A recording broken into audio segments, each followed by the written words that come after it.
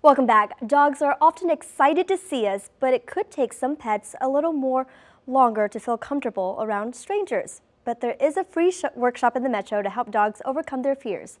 Joining me now is David Codr with Dog Gone Problems. Good morning, David. Good morning. Thanks for having me back. Yes, and our morning's been a good start so far because you have a special guest. Tell us about I your do. special guest. This is my friend California, Callie for short, and she uh, she is a very happy dog. Sit, she stay. is. Um, and she helps me rehabilitate uh, fearful dogs. And she's so well behaved, so I'm assuming you. she's very friendly to the other. She is very friendly. She's a good role model. We call it habituation when you put a dog, uh, a balanced dog, with an unbalanced dog, and they kind of uh, almost make her a role model. Stay. Yeah, so they learn Stay. from their friend Callie Exactly. on what to do. So tell us about this workshop that's coming up. What can people learn about? Well, this one's specifically for fearful dogs, which is why I brought Callie. So uh, I, have seen a lot of dogs are fearful due to insecurities. Um, some are uh, coming from a bad past. I just worked with a dog that was a rescue dog for six years. It spent its whole life in a, in a cage. So just not familiar with humans. So uh, what we do is help uh, fearful dogs learn that uh, whatever the fear is, uh, isn't something they need to fear uh, by basically exposing it to uh, the thing in a, in a positive way, in a way, in small bites that they can absorb.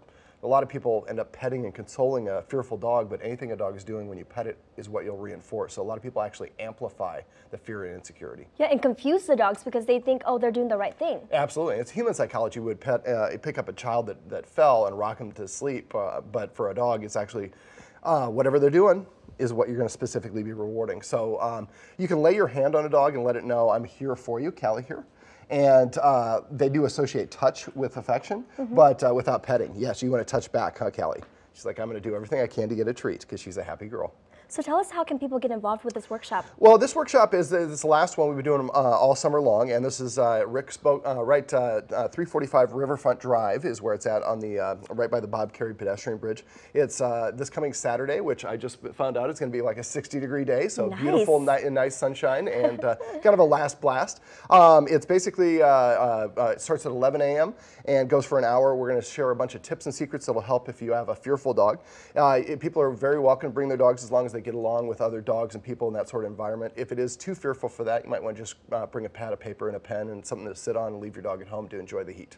And then quickly before we let you go, there's you have a partner that's going to be do. We. Uh, thanks for reminding me. Yeah, yeah, Revolution Rescue California here uh, is our rescue dog. They're uh, based out of Lincoln. Uh, they help people all over Nebraska, and unfortunately, they weren't able to bring a dog, which is why I brought uh, Callie. Uh, but they will have adoptable dogs at the event. So if you're looking just to pet some dogs or meet some great av available dogs, come on down. Perfect. All right. David and Callie, thanks for joining us this morning. Come here, Callie.